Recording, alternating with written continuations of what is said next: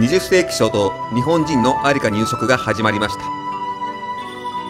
1920年頃約60世帯の日本人入植者家族が有カに日本人会を設立しました。第二次世界大戦を経てある入植者家族は日本に帰国しまた他の地へ移住するなどし10家族ほどが有カへ残りました。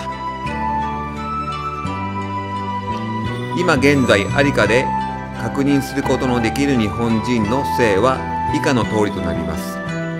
安倍藤田林田小島石原川鍋小松野戸井桜田山本。